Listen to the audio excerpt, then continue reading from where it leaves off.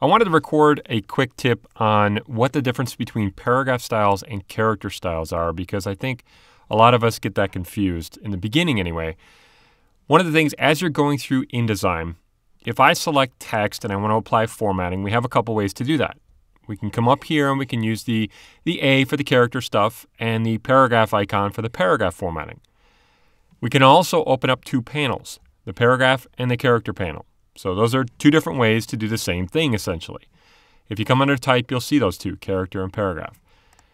Now when we want to save formatting and reuse it, we use a style, but there's two kinds. I come under type, you'll see character styles. Let me open that one up. Come under type, you'll see paragraph styles, same thing. Open both of those up. Paragraph styles, this is kind of cool, but paragraph styles apply formatting to an entire paragraph.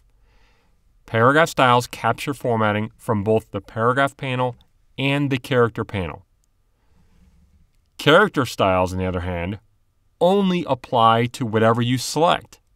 So we could select a character, a letter, a word, a paragraph, 10 paragraphs, it doesn't matter, and you can apply a character style to it a character style only captures formatting found in the character panel or formatting under the A right here.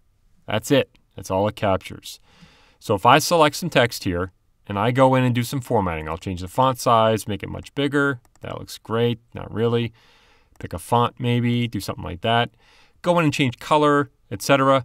If I go to the paragraph formatting and change maybe space after, do some different things like that. Do a little bit of alignment. I'm essentially doing paragraph and character formatting. If I go to the paragraph styles panel now and capture the formatting, I can create a new style. If I double click, I can call that something like heading or something to that effect.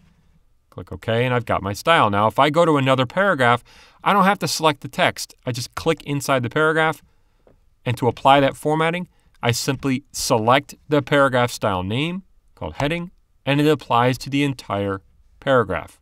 Note that.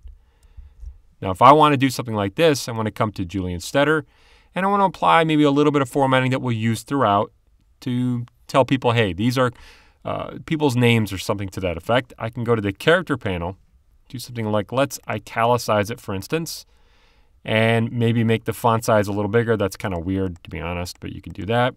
There we go.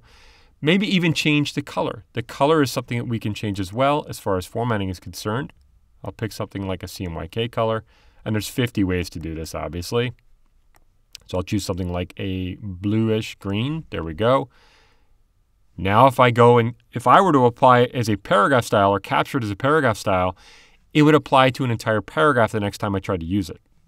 But if I go to the character style panel and capture that formatting, I can double click to name it, call it name or whatever you want. Click OK. If I put my cursor inside of a paragraph now and try and apply a character style, it just won't work. It won't apply to the text around it. If I select right there, like Cologne, and select a character style, it applies it. You'll see character styles can also be applied within a paragraph that has a paragraph style applied. Kind of crazy. Check it out. You'll see it's going to override the paragraph formatting. So really quick, I just wanted to mention or to talk about the differences between character and paragraph styles, how you capture the formatting, what gets captured, and how you apply them. And there's a lot of other ways to do this, but this is most of the basics.